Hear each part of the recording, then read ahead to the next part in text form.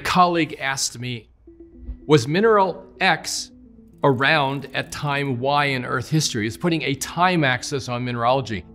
And this led to the idea of mineral evolution.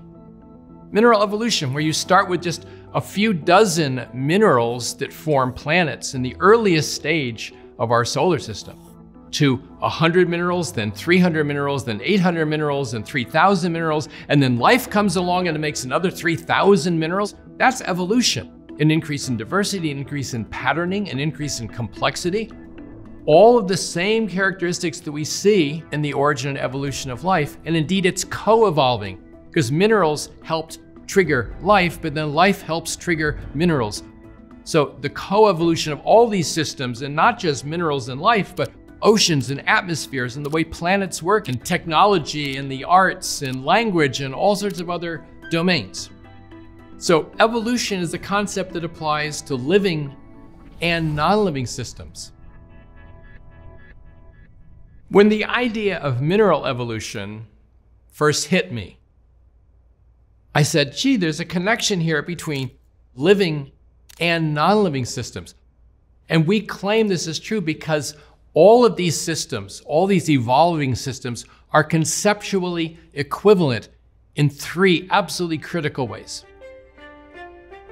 First, you have lots of interacting components. They could be atoms and molecules, they could be cells or genes, they could be musical notes or words on a page, or even computer code. And those different systems can be arranged in combinatorially huge numbers of ways, vast potential configuration space.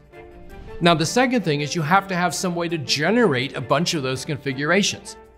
Either Earth mixing up atoms and molecules, or life generating new combinations of genes, or composers creating new arrangements of notes on a page. And then, number three, there has to be a mechanism for selection. Now, what do you select for?